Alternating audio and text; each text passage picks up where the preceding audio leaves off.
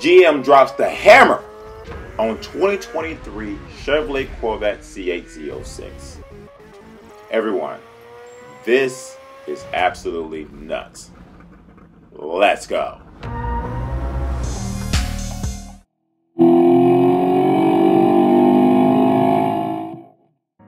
Howdy, folks. You on CGarnerSpeed 252 show. Scroll over to the right, click that subscribe button, join this awesome community. What's up, guys? Welcome back to the channel. Welcome back to another episode of CGarnerSpeed 252.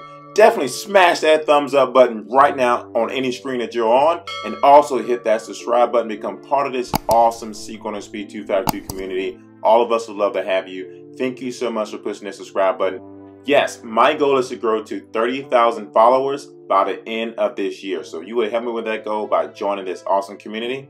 I greatly appreciate you and each and every single one of you. I hope all you guys are doing well. I hope everyone's Corvette is doing awesome. And I hope you are having an amazing Saturday so far. All right, I told you I will bring you the latest integrated C8 Corvette information that I can possibly bring you on this channel. And right now, today's news is nuts It was unexpected. I was so shocked, and I'm looking forward to giving you the information right now.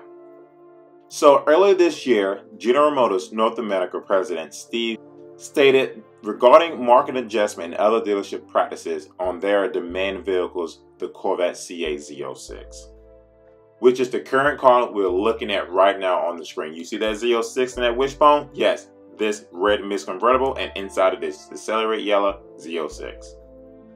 The letter stated that a small number of dealers has engaged in sales practices that cause negative press and reflect on pulling on GM's brand. There are additional warnings in those emails about selling those who flip the cars to overseas buyers.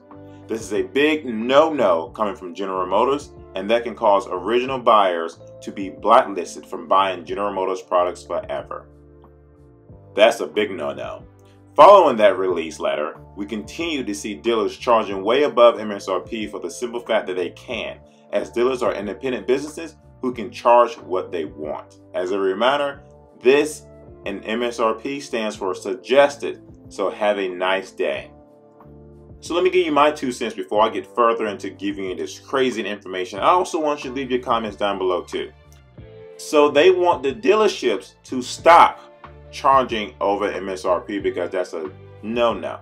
But the S in MSRP stands for, once again, suggested retail price. So the dealerships can technically do what they want because, like I said, they are independent.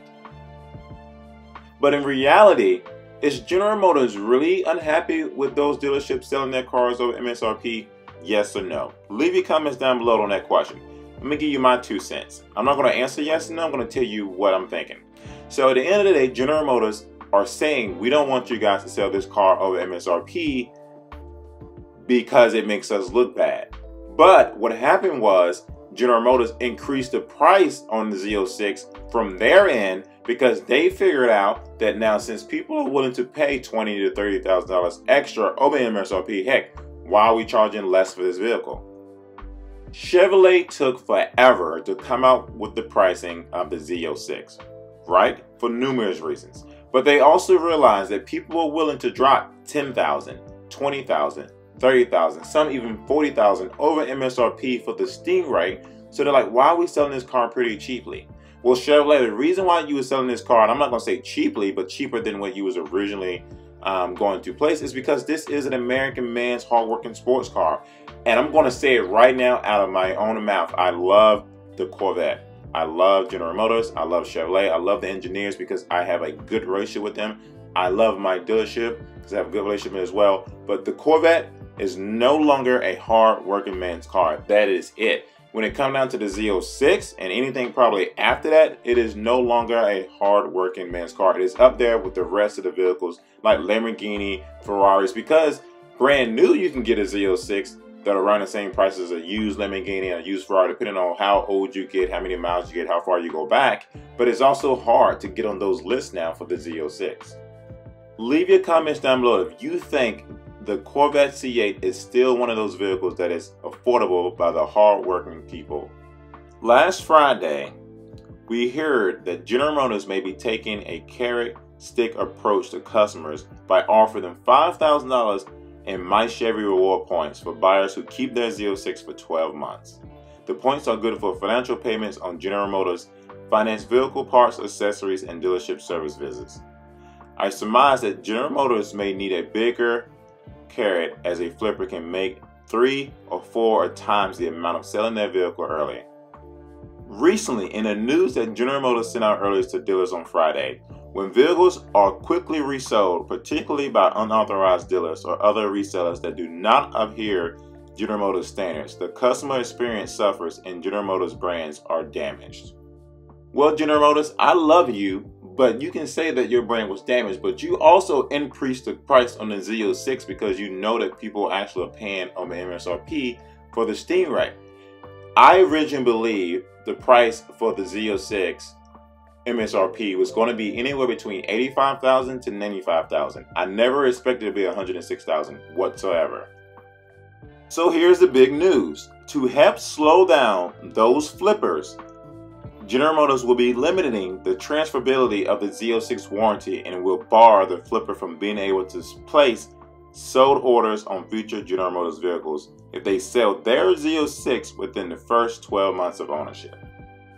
I'm going to be honest. I would love a Z06. I want one for my channel, I want one for my audience, and I want one to experience my first ever Z06. So if I can afford one, if I get my hands on one, I don't have any desire to sell it.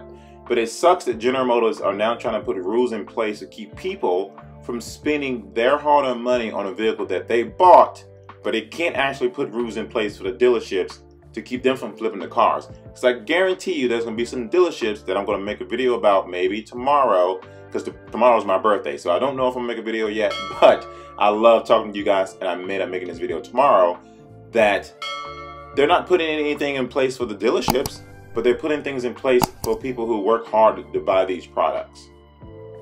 What if people say, hey, you know what? We ain't going to buy the Z06. We're going to boycott it. You can't tell us what to do with our Z06 in the first 12 months that we pay for it, our hard earned money. Leave your comments down below on what you guys think on that comment from General Motors that if you sell your Z06 within the first 12 months, you will not be able to buy a future product from General Motors. What's your guys' thoughts on this? I would love to know your thoughts on this. Literally leave your comments down below about General Motors saying within the first 12 months you cannot sell your Z06 or flip it because you can actually lose an opportunity to buy future General Motors products. But here's the thing, there are so many things to the plot. What if somebody family member passes away and they need to sell the car because they need to pay for somebody's funeral? What if somebody can no longer actually buy the car or afford the car, so they actually sell it because of those reasons?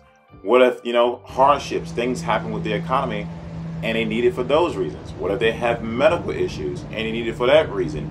There are so many reasons why somebody could buy a product early on thinking they're going to keep it for a long time and end up selling it outside of not flipping it. So if that's the case, what you do in that case? Do we sign an agreement saying, hey, like we got this other car for X, Y, Z? Leave your comments down below. This is a really pretty situation to talk about in the sense of, you know, if you actually work hard for this car and you decide to buy this car, you technically should be able to do what you want with it. But at the same time, there's other reasons that can come into effect to why someone may end up selling their vehicle. I love General Motors. I do. I love Chevrolet. I do. I love the engineers a lot. Um, I talk with them pretty regularly about things that are coming up in the future that they can actually talk about, which they can actually talk about in any email to anyone. And I just love having genuine conversation and their respect for building this vehicle. But I love all of you guys as well, so I'm going to bring you the latest and the greatest information. And I hope that whoever decides to get the Z06, all I can say is you need to let me come out there and do a review on your Z06. I don't care what spec, I don't care what color. Come out. I want to see a nice Z06 and I want to do a review on your vehicle. With that being said, give this video a thumbs up. Hit that subscribe button on any tab of the screen that you're on. And I'm looking forward to seeing the next video. My birthday is tomorrow, so thank you everyone for the early birthday wishes, and I appreciate each and every single one of you.